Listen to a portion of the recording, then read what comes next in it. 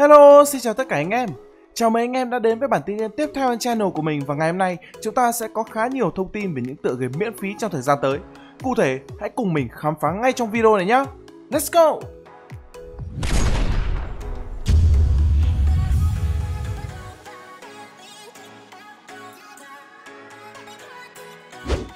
Vâng, đúng là như vậy.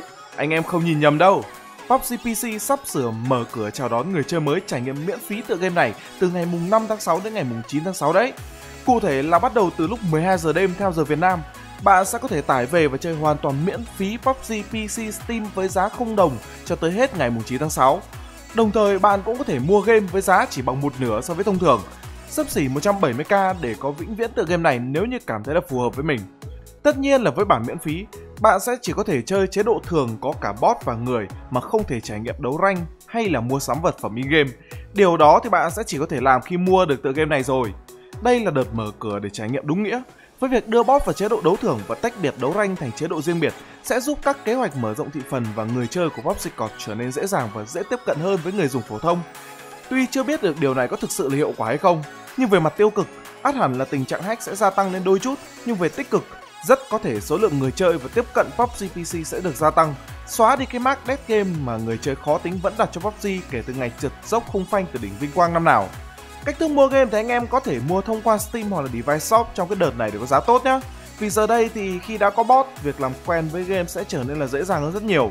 Nhưng hãy chú ý khoảng cách với những con bot vì chúng có thể bắn chết bạn chỉ với hai viên mini 14 đấy.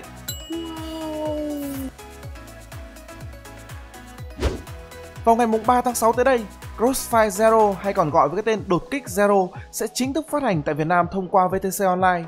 Vậy là anh em cũng đã hiểu lý do vì sao đột kích gốc chỉ hoãn cập nhật trong thời gian qua, có lẽ phần lớn cũng là để tập trung cho tựa game mới mẻ nhưng vẫn đầy quen thuộc này.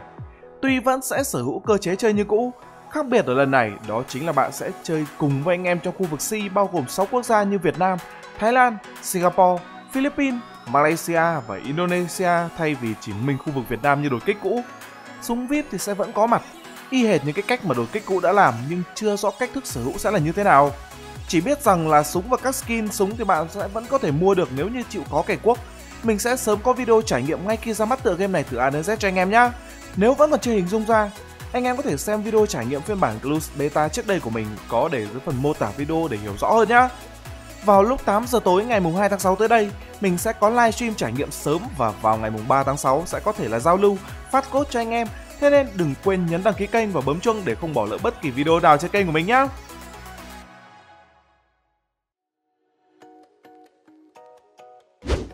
Vẫn như thông cáo trước đó tới từ đội ngũ phát triển, PUBG Lite không có update thêm về mặt gameplay, tuy nhiên hòm mới cùng các nhiệm vụ mới thì liên tục xuất hiện nhằm giúp cho anh em phần nào đỡ nhàm chán trong quá trình chơi game. Có tin đồn rằng là đội ngũ phát triển PUBG Lite sẽ sớm quay trở lại sau giải đấu từ thiện PCS, nhưng điều đó có thực sự trở thành sự thật hay không? Có lẽ thời gian sẽ cho chúng ta câu trả lời.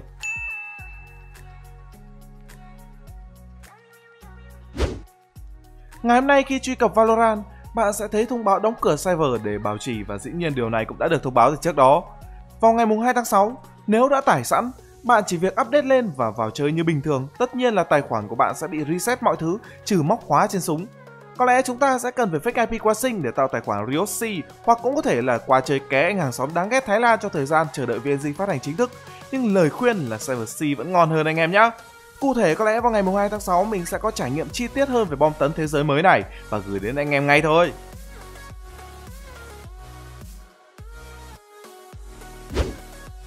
Vâng, mình chẳng có gì ngoài tiền và game khủng long nhưng lại miễn phí.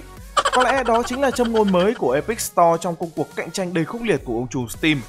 Ngay sau cú sốc về GTA 5, có vẻ như không muốn người chơi hoàn hồn, Epic Store lại tiếp tục tung ra Borderlands tuần này và tiếp tới sẽ là ARK.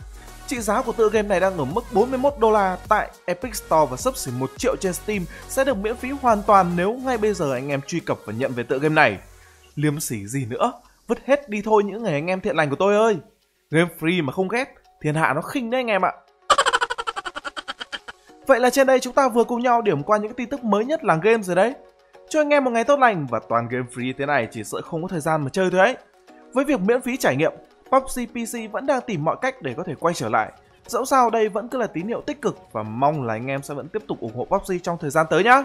See you again!